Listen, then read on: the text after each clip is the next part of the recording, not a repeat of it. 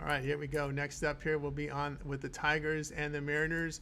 MLB pick for Wednesday. Tarik Skubal, your starter for Detroit. Skubal, 22 starts, ERA 2.57, whip up 0.95. Lefty fans 30%, 5% walks, ground balls 46%, 0.79 home runs per nine innings.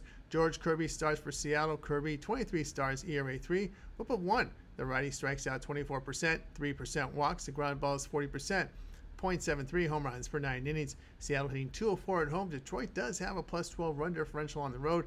They've won 8 of 11 away from home. Tigers bullpen on the road, an ERA of 3.80. Team mark behind Skubal, 13 9 with a plus 6.5 unit return. Seattle behind Kirby, 10 and 13, a minus 5.6 unit loss. Played Detroit here at plus the 121.